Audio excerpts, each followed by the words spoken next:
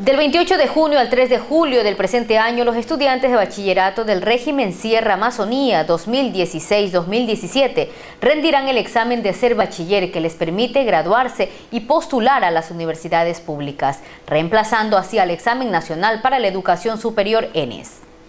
La zona 7 del Ministerio de Educación desarrollará el examen a un total de 26.603 estudiantes, de los cuales 8.476 son escolarizados y 18.127 son graduados en años anteriores. Para el efecto están habilitados 286 sedes ubicadas en diferentes unidades educativas. El ser bachiller evalúa habilidades, aptitudes y destrezas.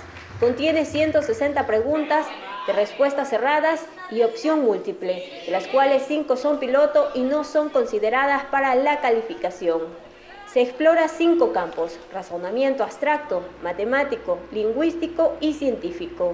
El examen tendrá una duración de tres horas y cuenta con una modalidad para las personas con discapacidad visual, auditiva e intelectual, para quienes la prueba se habilitará en audio y video según la necesidad del estudiante con un tiempo de cuatro horas.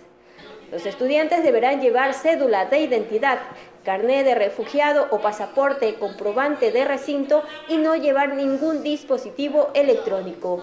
Para los estudiantes de tercero de bachillerato, el ser bachiller determina el 30% de nota final y no existe nota mínima para aprobar el examen mientras que para la postulación a la educación superior el examen será calificado sobre mil puntos y considera la totalidad de la prueba. El 90% del peso tendrá el componente de razonamiento y un 10% el componente de conocimiento.